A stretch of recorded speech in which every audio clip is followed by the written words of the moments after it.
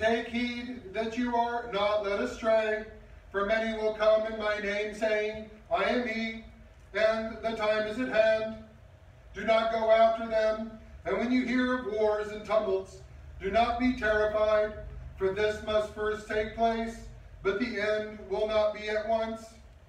And there will be signs in the sun, and the moon, and the stars, and upon the earth distress of nations, and perplexity at the roaring of the sea and the waves, men fainting with fear and with foreboding of what is coming on the world. For the power of the heavens will be shaken, and there will be, and, and then they will see the Son of Man coming in a cloud with power and great glory. Heaven and earth will pass away, but my words will not pass away.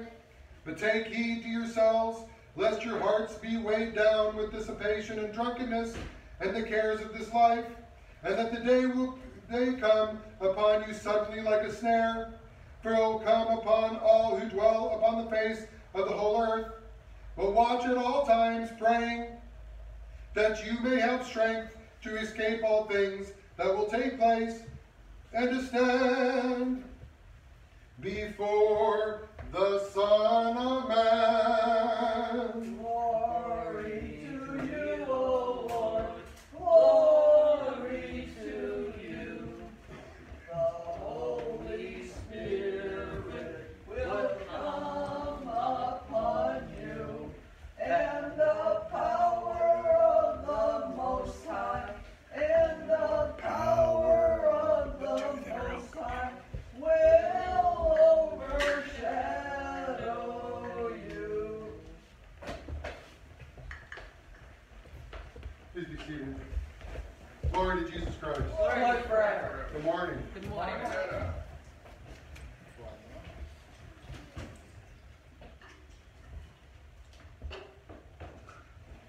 I think there's something that every one of us has done at least once in our lives. Set our clocks in the evening before at a certain time to wake up on time the next morning. I think it's safe to say all of, us, all of us have done that at least one time, correct? And what does that mean? What is that? Then why do we set a clock to wake up in the morning? There's no guarantee. There's no guarantee that we're going to wake up. There's no guarantee that there's going to be another morning for us to have, to listen to that alarm for us to wake.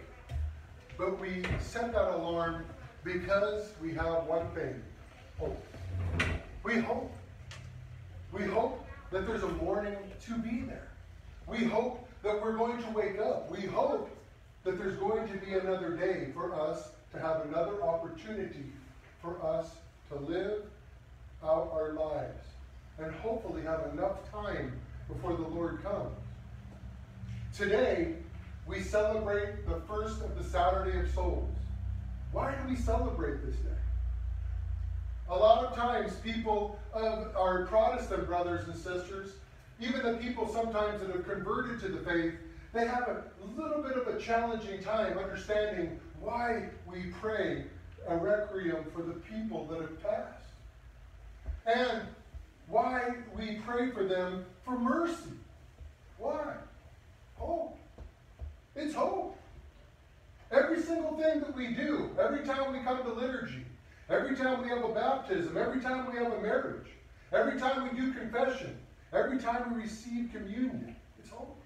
It's always the same answer hope. Today we hear the epistle reading, right? St. Paul says, Fear not and hope, right?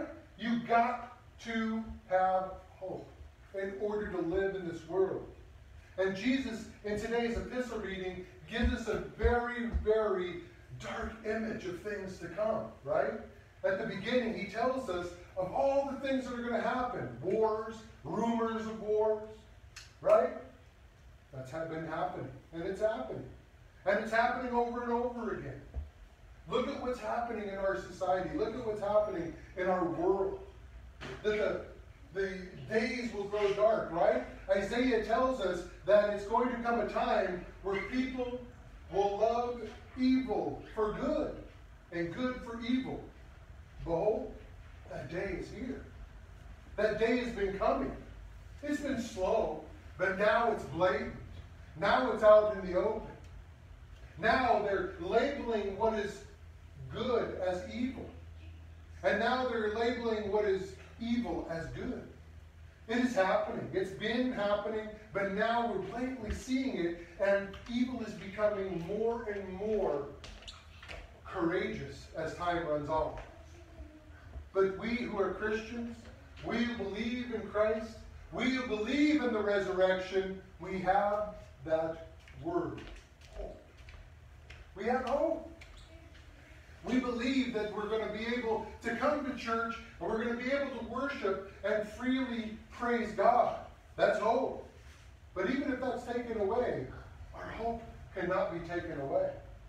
Our hope is always going to remain as long as we have the authority in Christ, which is forever.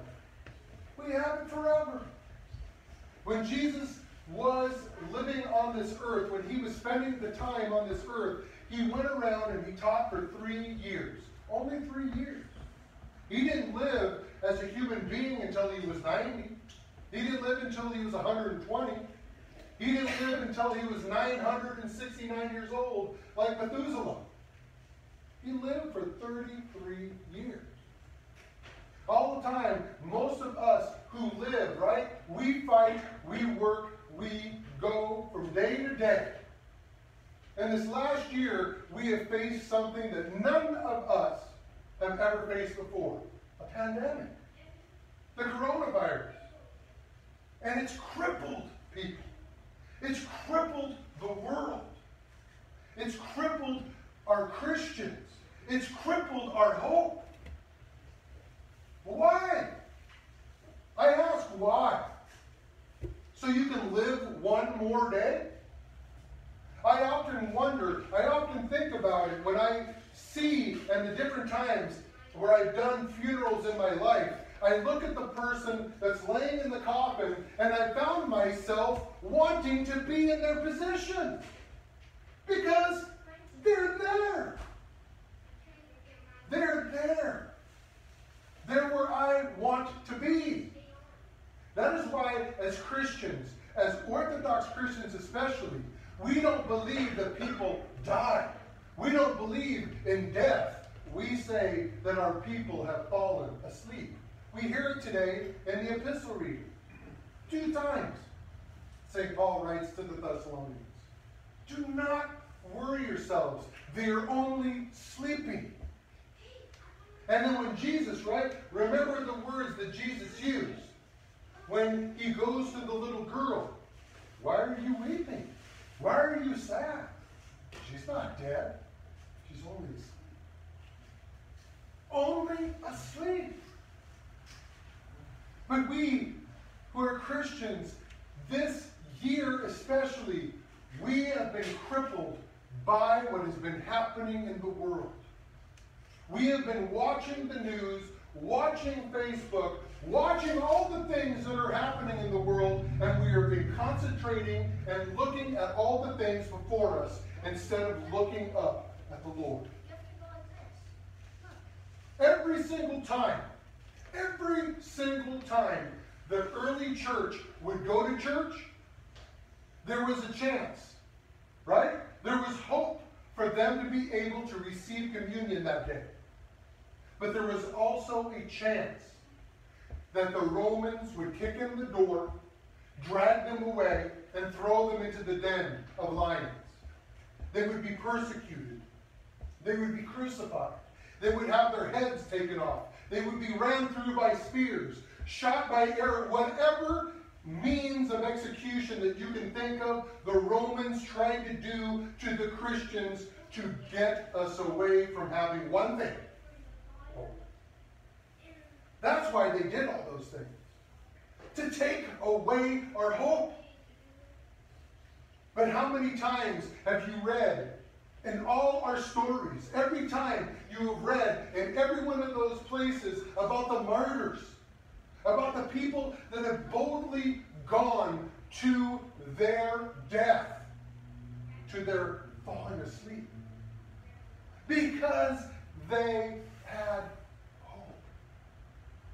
It's the same story. Every single time they would go into the catacombs to worship, into the homes to worship, there was always a chance they could die. What's the difference with today? You could catch the coronavirus, true. It's out there. I know it's out there. I've seen people dying. But that doesn't make any difference of why the churches are not packed.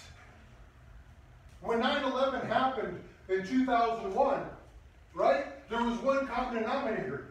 The country was united. People were going into droves into the churches with lit candles, and they were going into the churches and they were praying that God would have mercy on our country because the country that was supposed to be unstoppable, undivided, the country that was supposed to be unstoppable had been attacked. And we had that hope. But something changed. Something shifted from that time to now. This coronavirus is only one of many things that Jesus has warned us about that's coming. It's not like he didn't tell us it was going to happen. Is it, a, is it terrifying? Maybe. It could be. It's terrifying to me only if I have no hope.